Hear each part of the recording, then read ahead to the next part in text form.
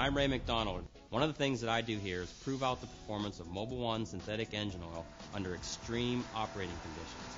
An example of an application that runs under extreme conditions is turbochargers. Today, there's a rising consumer demand for better fuel economy but more horsepower with their engine. Engine designers are designing smaller engines to get the fuel economy and then using turbochargers to boost the power and give the consumer what they want. The problem is turbochargers operate under extremely high temperatures. Here, let me show you what I mean. This is what a turbocharger looks like when it's fully assembled and on your engine. This is what a turbocharger looks like on the inside. The way a turbocharger works is it takes the exhaust gas from the engine, flows it past this turbine, which then spins this impeller on the other side. The turbine is connected to the impeller by a shaft. The intake air to your engine flows past the impeller, and as it does, it's compressed, and the compressed air is delivered to your engine, giving your engine more power. Now, this shaft can spin upwards of 200,000 revolutions per minute, so it's absolutely critical that the motor oil get to that shaft and lubricate it properly when the turbocharger is operating.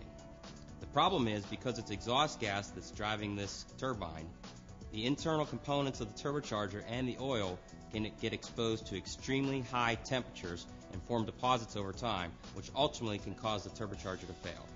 Here, let's go see exactly how hot a turbocharger can run.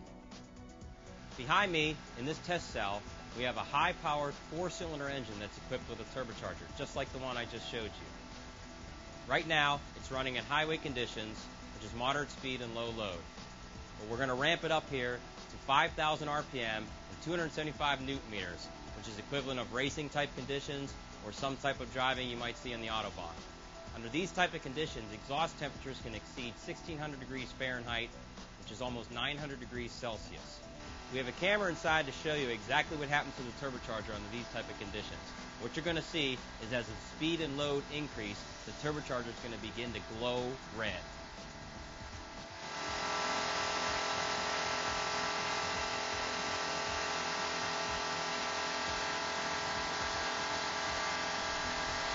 Wow, that's hot. All right, let's go back to the shop and take a look at these turbochargers and see what happens to them under these type of conditions. One of the most critical components of a turbocharger is the bearing in which the shaft spins. Here we have the bearing from a turbocharger tested with conventional oil. As you can see, deposits have formed on the external surfaces of these bearings. And over time, these deposits can cause the bearing in the turbocharger to fail. Here we have a bearing from a turbocharger tested with Mobil 1. You can see there are no deposits on the external surface of this bearing. This shows how Mobil 1 performs under the extreme operating conditions of a turbocharger.